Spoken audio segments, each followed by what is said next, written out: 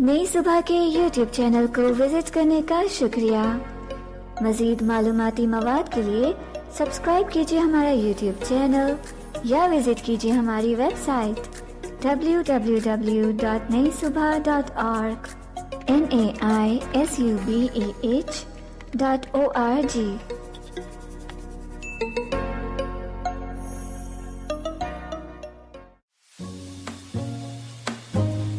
अस्सलाम नई सुबह के इंडिपेंडेंट लिविंग प्रोग्राम के ऑडियो लर्निंग ट्यूटोरियल्स के साथ मैं हूँ मिस दुर्रानी आज हम बनाना सीखेंगे पकोड़े.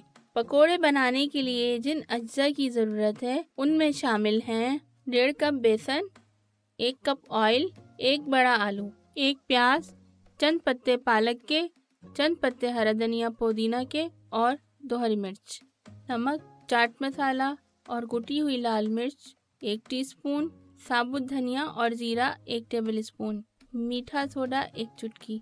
तरकीब, एक बॉल में बेसन लें और तमाम मसाले इसमें डाल दें और फिर थोड़ा पानी लेकर इतना इसको घोल लें कि ना तो ये बहुत ज़्यादा गाढ़ा हो और ना ही बहुत ज़्यादा पतला। अब बेसन को 15 मिनट के लिए रेस्ट पे छोड़ दें और दूसरी तरफ़ आलू, प्याज, पालक, हरा धनिया, पुदीना, हरी मिर्च को बारीक बारीक काट कर इस बैटर में शामिल कर दें। अब एक कढ़ाई लें और उसमें तेल डाल के गरम कर लें। फिर इस बैटर को उस कढ़ाई में गहरे चम्मच से थोड़ा थोड़ा फासले से डालते रहें और जब पकोड़े फ्राई होकर ऊपर आ जाएँ तो इनकी साइड चेंज कर दें और गोल्डन होने पर इन्हें निकाल लें।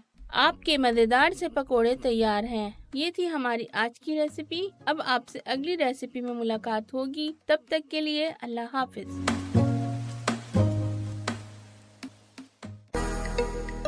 ये मालूमती मवाद नई सुबह की जानब से पेश किया गया। अपनी आरा के इजहार के लिए कमेंट कीजिए या डिस्क्रिप्शन में दिए गए रबते के जराये इस्तेमाल कीजिए।